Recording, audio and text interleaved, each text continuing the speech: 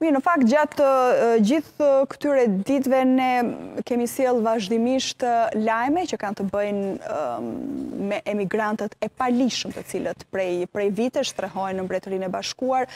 Një përplasje që sikurse kemi ndjekur që ka ardhur edhe mes kryeministrit Rama dhe mes zyrtarëve të lartë të, të Britanisë së Madhe, sikurse ishte edhe ministrja e Brendshme atje.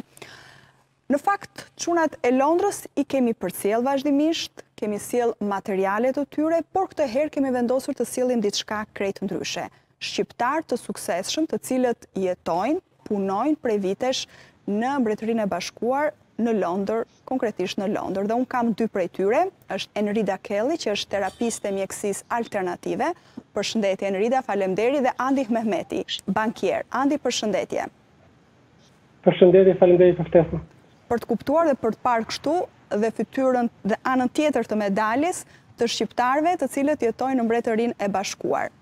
Jo vetëm ata problematikë të cilët për të cilët mediat angleze kanë folur kaq shumë, por sigurisht edhe për shqiptarët e tjerë, sikurse jeni ju dhe shumë e shumë të tjerë të cilët punojnë atje dhe që janë të suksesshëm. E nisim së bashku Enrida. Ëm, si ndihesh ti? Kur vazhdimisht ke lexuar sidomos gjatë muajve të fundit lajme të tilla nga media britanike, prest, një prej tyre është prestigjozja Daily Mail që flet dhe që kushton hapësirë emigrantëve shqiptarë të cilët kanë vajtur atje në mënyrë të paligjshme. Më faleminderit për ftesën. Më bëhet qejfi që për herë të parë krijohet mundësia të flitet gjithashtu dhe për shqiptarët e suksesshëm këtu në Britani, sepse ne jemi shumë, por jemi paksa të padukshëm.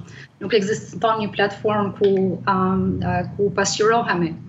Um, me thënë të drejtën janë shumë shqetësuese lajmet uh, kohët e fundit. Unë jam uh, terapiste e fushës mjekësisë alternative dhe Um, kam pasur goxha sukses në këtë fushë, jam gjithashtu dhe sipërmarrëse e një klinike uh, private, um, dhe uh, duke pasur dhe një klientelë private, um, domethënë, uh, më krijohet mundësia që të dhe të bashkëbisedoj dhe të kem diskutime me shtresa të ndryshme të shoqërisë, është me të vërtetë um, uh, shumë e vështirë kur dëgjon uh, një hate speech në një farë mënyre që është uh, transmetuar, sepse kjo godet edhe prish imazhin um, e shqiptarëve të gjithë ne, bashkë dhe me raste më është dashur që të të rikujtoj edhe pacientët e mi ose klientët e mi që unë jam shqiptare, sepse shpesh e harrojnë, domethënë, um, këtë fakt. Dhe disa prej tyre madje kanë kërkuar dhe një farë ndjese, siç e kanë vetë anglezët, na fal që flitet kaq keq për ju për imazhin, ne kemi tepër respekt për ju dhe për shumë shqiptarë me të cilët i është hasur ose i është dashur që të uh, që të um, të punojnë. Mhm, mhm. Andi? Në një farë mënyrë. Po, po, rikthemi sërish, të le të të bëjmë pjesë të kësaj bisede dhe Andi për ta bërë kështu një bisedë, një bashkëbisedim. Andi, i ke përcjellë me shqetësim këto lajme dhe a ke ndjerë ndonjë reagim që nuk të ka pëlqyer nga qytetarë britanikë gjatë punës tënde kur ke thënë që je shqiptar? Siç e tha dhe Rita, po situata është shqetësuese për momentin. Ëm, në fakt doja të thoja Daily Mail nuk është një nga gazetat kryesore në Britani, është tabloid kryesisht i ekstremit të djathtë, kështu që nuk duhet marrë shumë për bazë ato. Dhe në përgjithësi kanë mbajtur një linjë politike goxha raciste dhe goxha goxha kritikuese ndaj shqiptarëve pa baza në përgjithësi.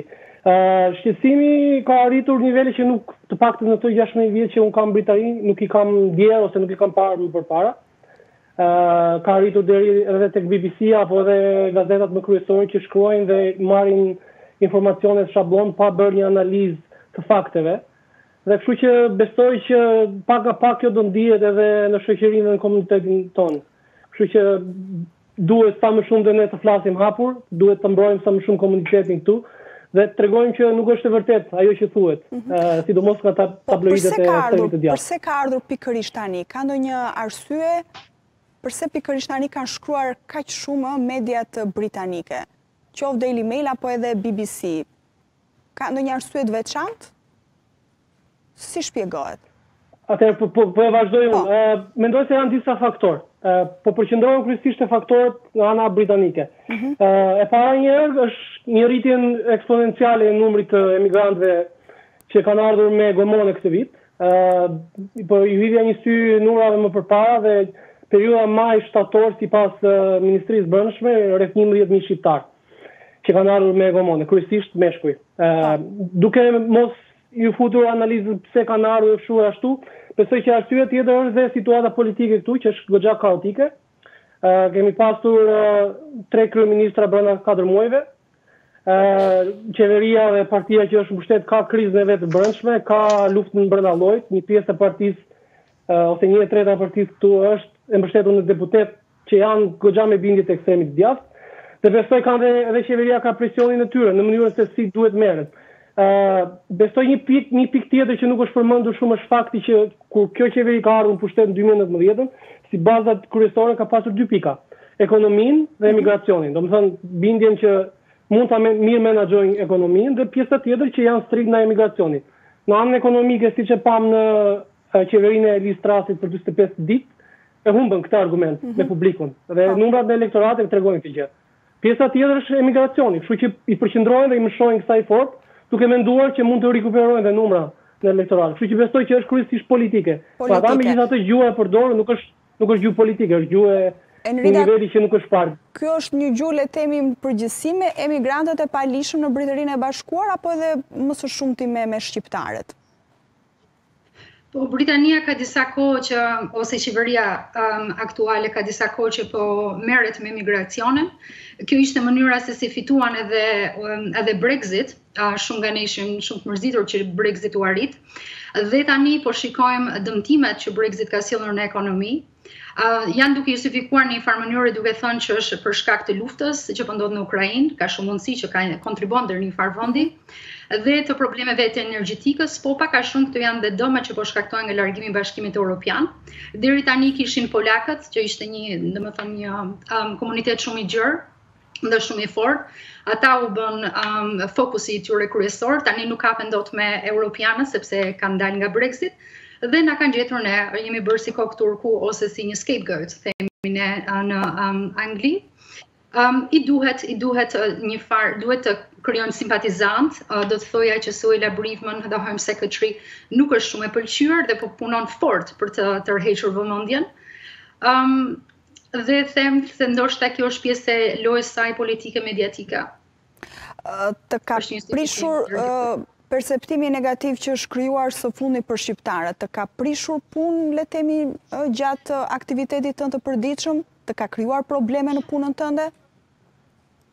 Unë pra, unë, kam praktikoj prej 18 vitesh dhe kam ndjekës të fortë dhe uh, shumë të dedikuar dhe që më respektojnë um, dhe respektojnë punën që unë bëj. Uh, so deri diku jo, megjithatë ekziston një farë um, ndrojtjeje që deri diku kjo mund, mund të ndikojë, mund të ndikojë në, në një të ardhme. Më përpara unë shihesha si, ose dhe vazhdoj për momentin shihem si një nga terapistet më të pëlqyera për fushën në të cilën uh, në të cilën unë ushtroj, njerëzit nganjëherë udhëtojnë larg një një orë e gjysmë deri dy orë që të vijnë këtu, Mirëpo, tani ka raste që kam filluar që shoh, domethënë që më bëjnë pyetje disa janë kuriozë të dinë nga jam, dhe në vend që pyesin nga jam me origjinë, nga Shqipëria, që të ndodhë? Por habiten, që ditën, um, dhe uh, unë e përdor këtë shumë si një element për të për të për për të treguar të vërtetën tjetër të të, të imazhit shqiptar që këta jemi dhe këta jemi ne. Ëm mhm. ehm, dhe jam e kënaqur këtu në klinikën time nëse mund ta shtoj një nga terapistet kryesore që punon bashkëpunon me mua është gjithashtu shqiptare. Ëm ehm, dhe specializohet në fushën e ëm ehm, psikoterapisë familjare dhe kjo mua më jep tepër kënaqësi. Janë shumë prej nesh në fushë. Madje edhe kur mora klinikën, kur mora ambientet e kësaj klinike që zgjerova para 4 vitesh, um, të gjithë ata që më ndihmuan për ta realizuar këtë ishin shqiptarë, duke filluar që nga avokati i cili uh, bëri të gjitha dokumentat e pronës komerciale, duke kaluar pastaj dhe tek marangozët, te hidrauliku, tek të, të gjithë, i gjithë ekipi pak a shumë ishin um, shqiptarë. Kjo tregon që jemi goxha të integruar, punojmë fort, paguajmë taksat, jemi profesionistë dhe kontribuojmë në mënyrë të theksuar kundrejt ekonomisë të vendit ku jetojmë dhe që na ka mirëpritur. Andi, po ty gjatë punës tënde të ka krijuar probleme? Perceptimi negativ që është krijuar së fundi aty? Probleme nuk do të thoja, por është një çështje që është hapur, është e sikletshme. Megjithatë, siç e tha Enrida, komuniteti shqiptar këtu në përgjithësi, Pjesa më e madhe punojnë, kanë biznese të suksesshme, kanë karriera siç siç jemi unë dhe Enrida, janë shumë e shumë të tjerë që kanë ecur me punë edhe me në mënyrë të ndershme, kështu që e kuptojnë dhe ata që situata nuk është e lehtë për qeverinë dhe e kuptojnë që ka ata thjesht janë duke u përpjekur të godasin një komunitet që mendojnë që është një komunitet i papërfaqësuar deri diku e mendojnë që mund ta mund na godasin. Po është është e sikletshme megjithatë, Kalohet, duke, duke, duke na njohur që jemi në përgjithësi punëtorë kjo, në punën tonë. Mhm, kjo pasiguri politike, Brexit, situata ekonomike, lufta në Ukrainë, a i ka bërë, le të themi, britanikët më skeptikë, më të rezervuar në tërësi ndaj, ndaj emigrantëve, a mund të a mund të ketë ndryshuar perceptimi i racizmit tek britanikët? A mund të konsiderohen të tillë? Mund të them që ka nisur që nga klima e Brexit në dy mijë e gjashtëmbëdhjetën, vazhdon në ditët e sotme. Brexit mbaroi në dy mijë e njëzetën, deri në atë pikë merreshin me polakët, me bullgarët, me rumunët, duke qenë që ishin komunitete që kishin direkt të bënin me Brexit. Tani që Brexit mbaroi nuk është se është Ka dalë i suksesshëm deri më tani, nuk është se kemi parë ndonjë sukses në Brexit dhe tani mëshojnë emigracionit të paligjshëm në thonjza dhe kush komunitet është për momentin që është duke ardhur më shumë në mënyrë të paligjshme me gomone janë shqiptarët dhe i godasin shqiptarët. Po, Enrida, janë janë më të mbyllur, le të themi, britanikët ndaj të huajve? Ka ndryshuar sjellja, qasja e tyre ndaj emigrantëve?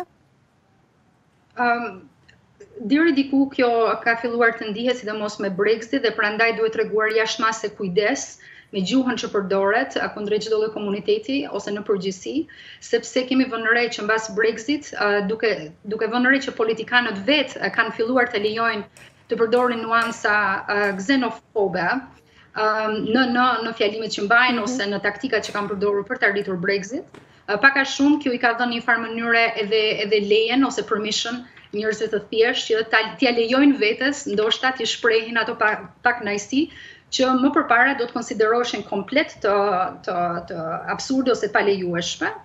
Ëm um, dhe prandaj them që edhe vetë uh, Home um, the Home Secretary duhet të kërkojë falje, duhet ta duhet ta ta pranojë gabimin që ka bërë kundrejt komunitetit komunitetit shqiptar sepse të etiketosh një komunitet të tërë si zaptues ose si sundues dhe krim, dhe kriminal është është absurde dhe, dhe duhet ndëshkuar për mendimin tim. Mendoni se do të ndryshojë diçka tashmë dhe nën drejtimin e Rishi Sunak, duke patur parasysh si është qasja e tij ndaj emigrantëve? Po kjo është tepër interesante, vetëm para disa ditësh po ndiqja një program që quhet Question Time dhe është një program shumë i respektuar dhe disa uh, aty u përmend që kjo gjuhë që po përdoret tani sidomos kundrejt shqiptarëve është përdorur edhe para në vitet 70 kur aziatikët ose indianët mhm. erdhën, domethënë patë një migracion të theksuar këtu, dhe tashma ata konsiderohen një komunitet shumë i rëndësishëm me një kontribut shumë të lartë kundrejt ekonomisë në gjitha fushat aspektet e jetës, dhe është edhe gjithashtu deri diku për të qeshur, po edhe një um, sukses i madh i këtij komuniteti ku uh, sot Britania drejtohet nga kryeministri i cili vjen pikërisht nga ky komunitet. dhe në të njëjtën mënyrë dhe Shqipëria, unë jam e mendimit që shqiptarët janë integruar goxha dhe kanë kontribuar goxha, është vetëm një periudhë pak a shumë 25 vjeçare që ne jemi këtu dhe po arrijmë dhe do të do të japim edhe më tepër. Gjithsesi, Andi mendon se kjo fazë, kjo fazë le të themi deri diku perceptimi jo i mirë për shqiptarëve, ksenofobia etj etj do kalojë dhe do rikthehet siç ishte më përpara, të paktën mos kishte, të mos bëheshin gjërat publike, të mos shkruanin mediat britanike. Besoj kjo varet nga disa faktore. E para një varet nga numrat. Në qoftë se ardhjet me gomone vazhdojnë në numra të lartë, që kryesisht është faji i qeverisë, sepse nuk është se kanë një marrëveshje me Francën. Unë kam thënë disa herë në fakt që Franca është çelësi i gjithë suksesit këtu, në qoftë se mhm. Franca nuk i ndihmon, këta nuk i kanë marrëdhëniet dypalëshe në nivelin më të ulët që kanë qenë ndonjëherë. Nuk është se kanë ndonjë marrëveshje, lexova para pak ditësh që kryeministri do do të takohet me Emmanuel Macronin së shpejti për të arritur një marrëveshje. Besoj kur të fillojë ulja e numrave, besoj nuk do kenë dhe ata më shumë nevojë të merren me shqiptarët. Megjithatë, qeveria aktuale, një pjesë e saj përbëhet nga eksponentë të ekstremit të djathtë, siç ua thash, po. një e treta e deputetëve të Partisë Konservative janë të ekstremit të djathtë. Ë, uh, edhe pse ata vetë identifikohen si brexitier apo diçka tjetër, po t'i shikosh bindjet e tyre janë goxha ekstreme. Kështu që jam pak skeptik, megjithatë më keq se ç'jemi nuk besoj se do të jetë. Besoj që do të përmirësohet situata. Atë shpresojmë dhe ne. Uh, unë ju falenderoj shumë që u bëtë pjesë e këtij diskutimi. Enrida Andi, faleminderit për uh, intervistën uh, që na dhatë në Euronews Albania.